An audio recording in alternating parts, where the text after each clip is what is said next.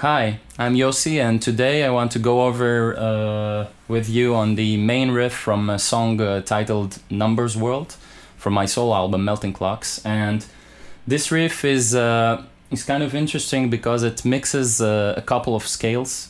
And let's uh, break it down to core components and see what we have going there. Uh, because it does mix some scales, some exotic stuff there, along with a groove element, some sort of rhythmic element uh, that attaches it all together.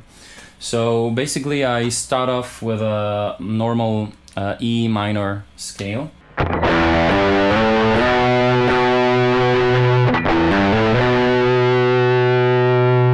So here I have uh, just uh, the basic E minor, and once I get up to the B note, I change to the minor harmonic perfect fifth scale. And here goes something like this.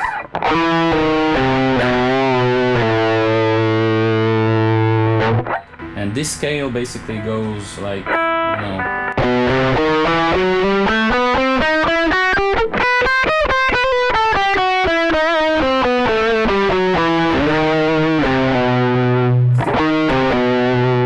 When I land on the A note, I go straight to the octave.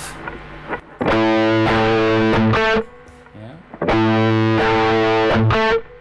Just pinch it a bit to give it some sort of uh, cool rhythmic thing. And then I go back to the uh, minor harmonic uh, perfect fifth scale, uh, but this time on the E.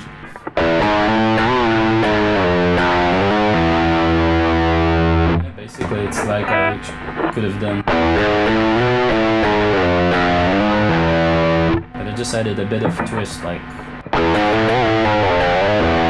And it basically, the full scale goes like this.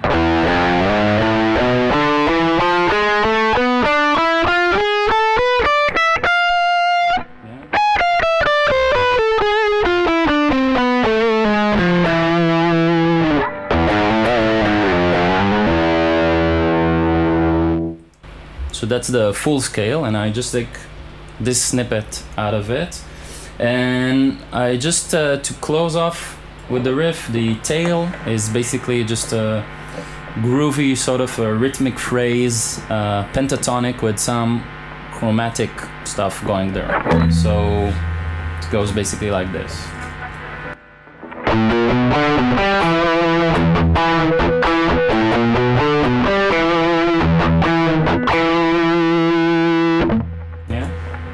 Pretty simple. Just a pentatonic, chromatic combined together. And once we combine everything together, we get the full riff. So thanks for watching and hopefully you like uh, my riff and my music and let me know.